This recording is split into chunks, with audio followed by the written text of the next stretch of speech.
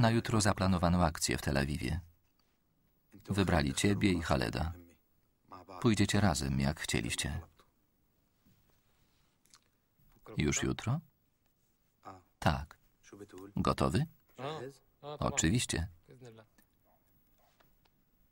Witam, Manuela Gretkowska w Kino Mówi w cyklu Intymność.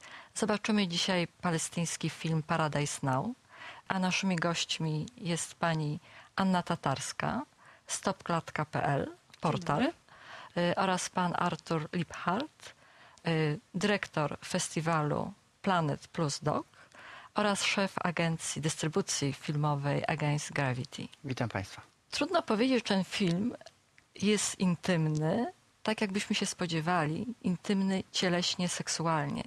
To jest film o zamachu, ale nie organizowanym przez Hamas, organizacje religijne. Biorą w nim udział dwaj normalni chłopcy. y, Palestyńczycy, którzy mogliby być y, na początku, wydają się, chłopakami z zachodu. I zakładają pas samobójcy szachida i wyruszają zabić innych i przede wszystkim siebie. Takiego filmu nie widziałam. Czy, czy Państwo widzieli coś podobnego? Ja widziałem podobny film, aczkolwiek troszeczkę w innej konwencji.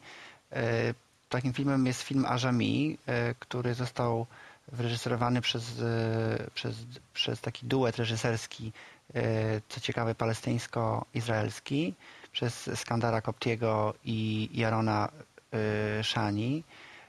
I tylko, że tam, tam jakby nie ma tam nie ma kwestii zamachu, tam jest kwestia takiej klątwy, klątwy węzła gordyjskiego, któ- która jest i tak wisi, jest pomiędzy e, członkami tego, e, tego społeczeństwa, które w zasadzie każdego dnia walczy z takim e, problemem, że jutro e, zarówno ich, jak i, jak, i te, jak i tego miejsca może nie być.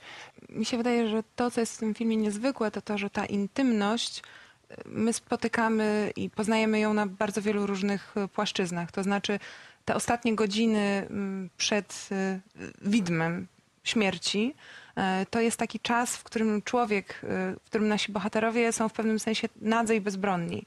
Zarówno wobec własnych emocji i wątpliwości, ale też y, narasta w nich masa pytań odnośnie tego, co, co, co będzie później.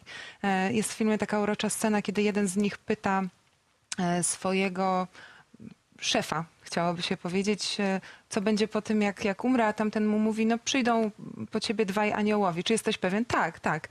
I, i, i to jest właśnie taki moment, taki niezwykły moment y, tak sk- skrajnie obnażonej wrażliwości, y, w której mam wrażenie, oni są bardzo podatni zarówno na własne wątpliwości, własne pragnienia, ale też y, w pewnym sensie na y, sugestie ze- z zewnątrz, a to, co czyni e, to oczekiwanie, to budowanie napięcia jeszcze ciekawszym, to to, że to już zostało powiedziane wcześniej, e, to nie są chłopcy trenowani od 15 lat w bojówce, którzy żyją oderwani od, od świata i rzeczywistości, nie mają własnych rodzin, e, tylko to są normalni młodzi mężczyźni, którzy e, zresztą na tle sytuacji, jaka w autonomii palestyńskiej ma, ma, ma miejsce, tak naprawdę nieźle sobie radzą, mają pracę, Dają napiwki. kochające rodziny, gdzieś jakąś dziewczynę na oku i wydawałoby się, że dla nich nie ma powodu, żeby chcieli coś takiego zrobić, a jednak.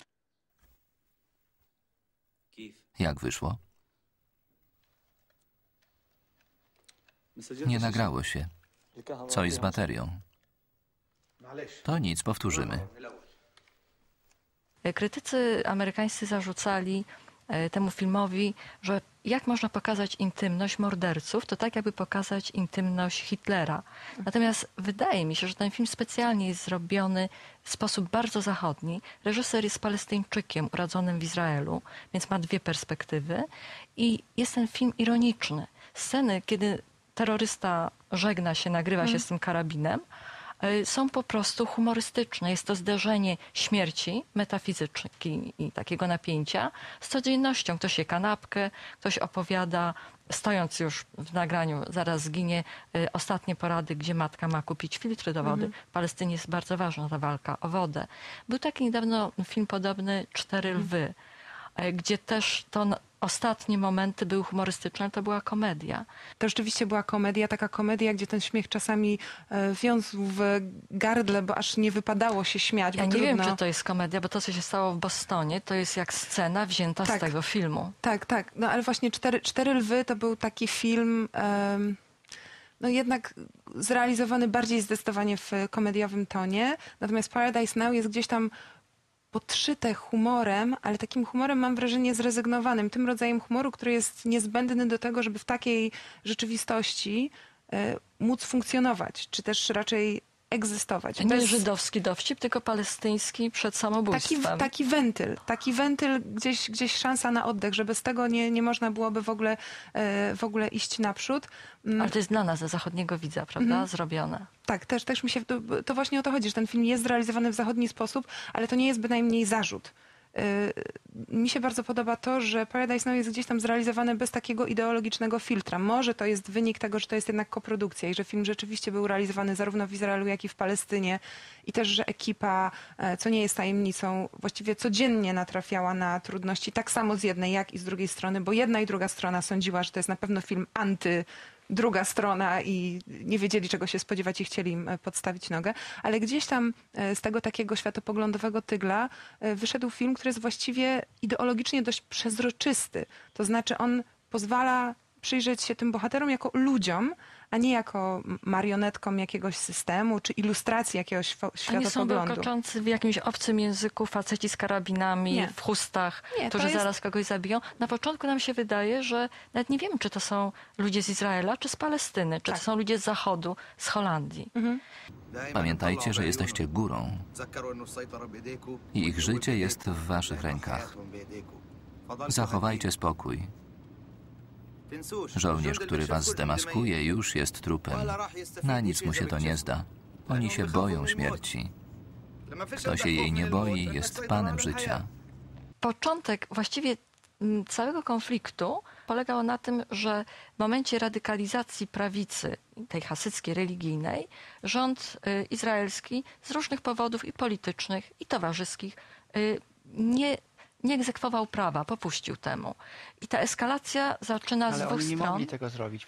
Po u zarania państwa, Państwa- państwa Izrael właśnie jest taki mały zapis w, w konstytucji, który e, dla niektórych e, politologów jest w ogóle źródłem e, tego, tego wszystkiego, co się, co się w tym państwie dzieje. Po prostu właśnie ta, te 3% społeczeństwa w zasadzie e, no, wodzą za nos e, całe, całe społeczeństwo i czasami czasami e, prowadzą na, no, y, na krawędź y, największej tragedii. Y, Ta mała społeczność, tak troszeczkę eufemistycznie mówiąc, potrafi zaszczelić swojego, swojego premiera, który jest w zasadzie najbliżej zawarcia pokoju z Palestyńczykami. Także, także właśnie ta, ta, y, ta wielobarwna, pięknie, pięknie, pięknie tańcząca i świetnie kadrująca się społeczność hasycka jest, jest jednocześnie jednym z, z najbardziej wewnętrznie e, takim terrorystycznym e, społeczeństwem, to, to bardzo interesująco było po,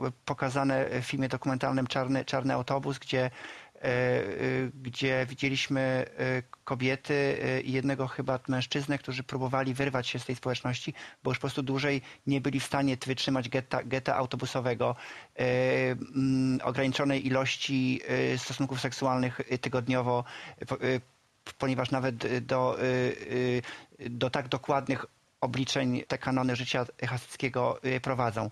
Czyli mamy społeczeństwo izraelskie, gdzie terrorystami. Dosłownie jest prawica religijna, z drugiej strony terroryści palestyńscy, Izrael jest demokracją.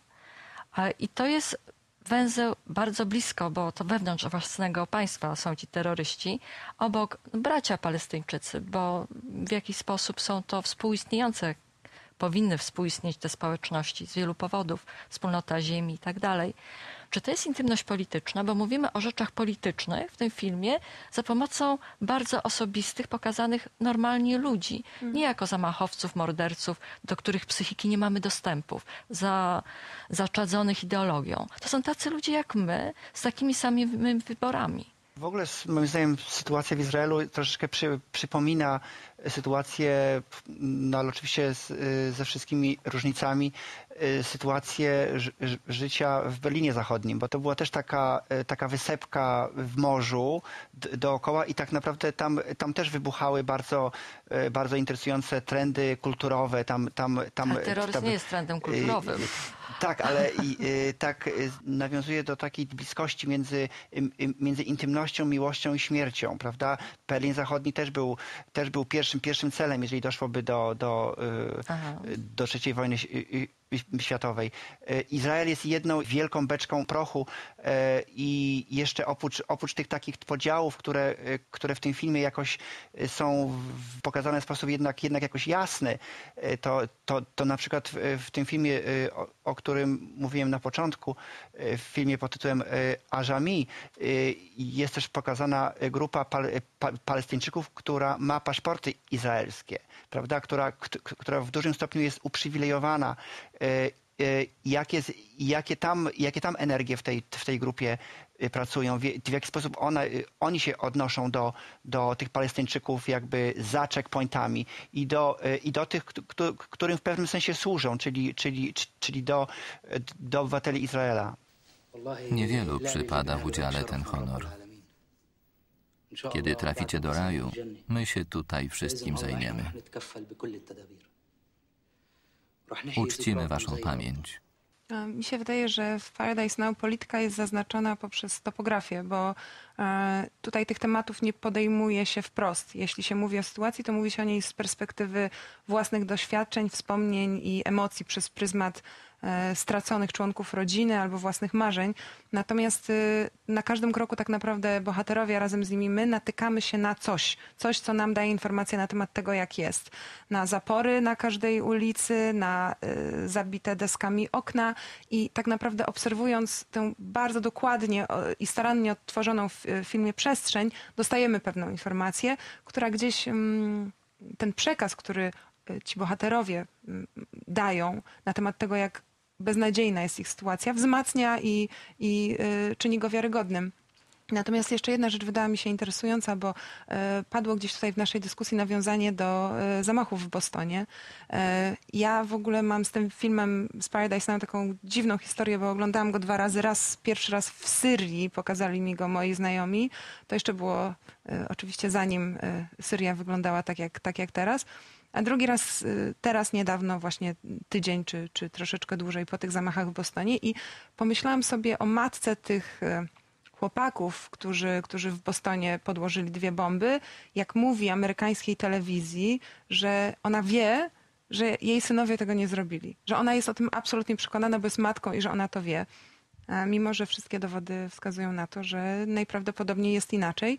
Mm, I pomyślałam o matce Saida z, z Paradise Now, która e, wydaje mi się, że mogłaby wiedzieć, że on mógłby to zrobić, bo ja, ja widzę wi- to w jej oczach i to też jest bardzo fascynujące i bardzo dużo mówi o tamtej rzeczywistości, bo ona jako wdowa po eks-kolaborancie, który został stracony przez swoich za zdradę i matka syna, który na pierwszy rzut oka prowadzi życie normalne i niezwiązane niejak właśnie z polityką, a jednak się angażuje w takie przedsięwzięcie, ma pewną in- intuicję. I zastanawia mnie, ile matek żyjących w takiej sytuacji też żyje gdzieś podskórnie z zaszytą taką myślą, że jeśli mój syn jutro nie wróci do domu, to domyślam się, co mogło się z nim stać. I to też jest jakieś bardzo przeszywające w, w tym filmie, mam wrażenie.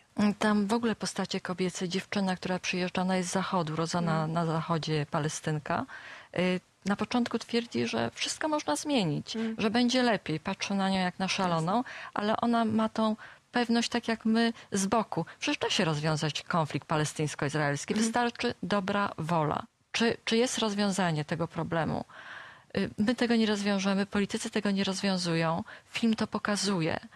Zapraszam na obejrzenie i na myślenie, bo to jest nie tylko obraz, ale mm, i polityka, i intymność, i właściwie my sami w wyobrażeniu takiej sytuacji, w której może byliśmy i kto wie, czy nie będziemy. Polityka dotyka nas wszystkich i kino też.